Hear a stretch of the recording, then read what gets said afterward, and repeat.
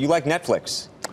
Well, I said Netflix is an interesting company. I thought that they disrupted, uh, you know, cable television, disrupted movies.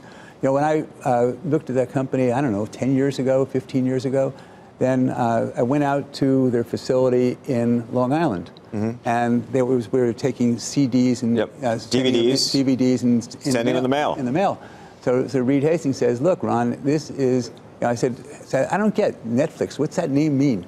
And he said, it's about streaming. He says, if I wanted to have a business that was sending DVDs through the mail, I would have called this DVDs through the mail. we call it Netflix, streaming business.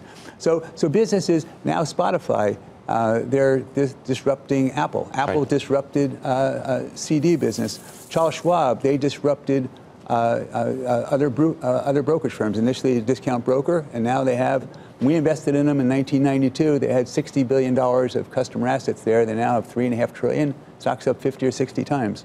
Uh, SpaceX, investing in SpaceX now. Uh, SpaceX really interesting. That I, I'm, I, I can't. This is a private investment for Baron Capital, for right. Baron Funds. Right. So Baron Partners owns a Baron uh, Focus. No, but pri- private investment in that SpaceX is not a publicly traded company. It's public. It's private now. I don't know how long it's going to remain private. I presume for some period of time. I would love to have Gwynne Shotwell speak at our annual meeting. But basically, their disruption is that it used to be that you would send up these rockets and you'd have Boeing and Lockheed and uh, uh, they'd be spending hundreds of millions of dollars. And do you remember when John Glenn goes up and then the stages fall off of the rockets and they throw them away and they burn up in the atmosphere?